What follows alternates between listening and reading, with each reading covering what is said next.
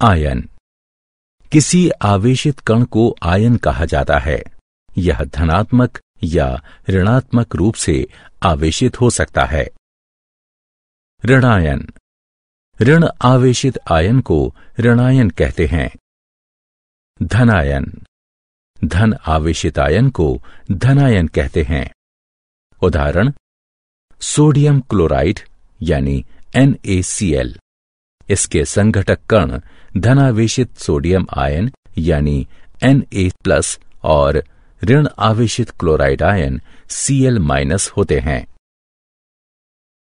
बहुपरमाणुक ion. एक बहुपरमाणुक ion आवेशित परमाणुओं का समूह होता है।